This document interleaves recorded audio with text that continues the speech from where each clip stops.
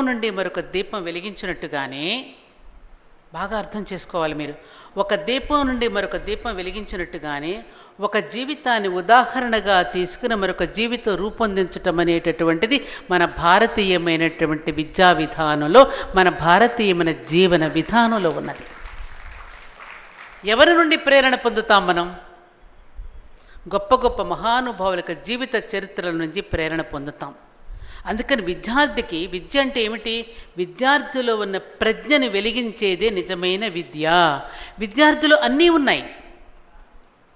నీలో ఒక భౌతిక శాస్త్రజ్ఞుడు ఉన్నాడు గణిత శాస్త్రజ్ఞుడు ఉన్నాడు భాషా శాస్త్రవేత్త ఉన్నాడు నీలో ఒక గొప్ప సైంటిస్ట్ ఉన్నాడు నీలో గొప్ప ఇంజనీర్ ఉన్నాడు అన్నీ నీలో ఉన్నాయి. నీలో ఉన్నటువంటి ఆ ఇంజనీరింగ్ని నీలో ఉన్నటువంటి ఆ శాస్త్రాన్ని నీలో ఉన్నటువంటి గొప్ప సైన్స్ని వెలికి తీసేవాడే ప్రేరణనిచ్చేవాడే గురువు.